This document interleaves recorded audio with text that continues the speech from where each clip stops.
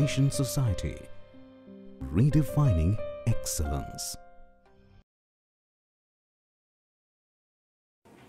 Hello everyone, my name is Mukta Mule and my group members are Vinita Mutkanna, Tushar Nanavre and Ketan Mankar. We are studying in third year of ENTC department in Zeal College of Engineering and Research Pune.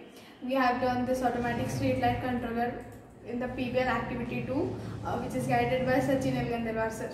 The main aim of our project is to save power as the light turn on and off according to the requirement. It saves the power as well as decreases our work.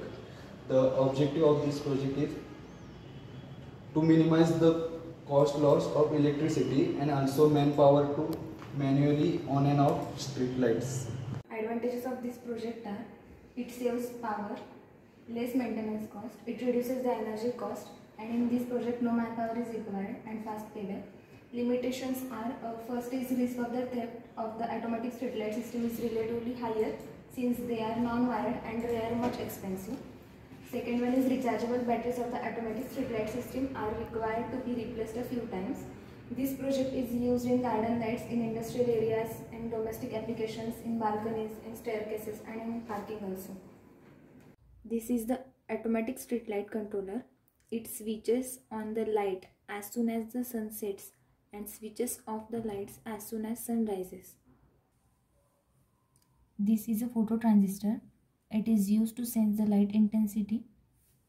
This is Zener diode which is used for voltage regulation. This is a rectifier diode which is used to convert AC voltage to DC voltage and it allows current to pass in only one direction. This is a PCB relay which is used for power management in control system designs which require the relay to be mounted directly on the PCB. This is a preset which allows the circuit to be made more or less sensitive. It is used to set the voltage level of the signal. These two are PNP transistors which turns on when a small current flows through the base. The direction of current in this transistor is from emitter to collector. Base of PNP transistor has always been negative with respect to emitter and collector.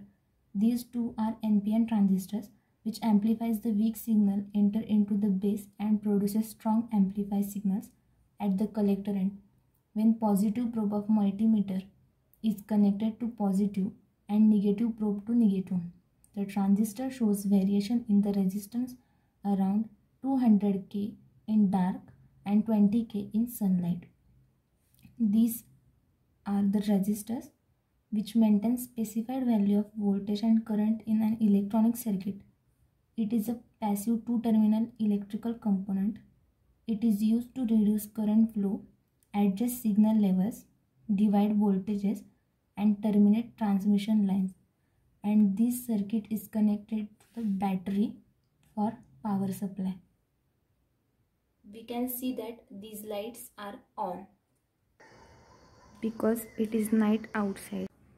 And we can also see that these lights are off because it is day outside